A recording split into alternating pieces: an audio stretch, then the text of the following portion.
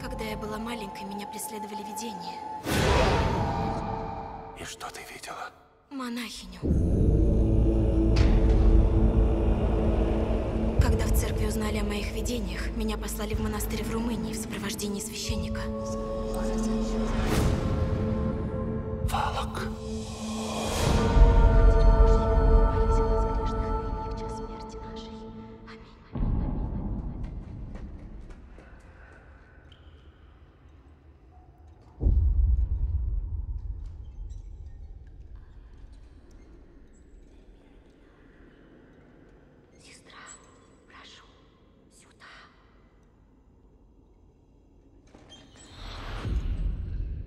Простите?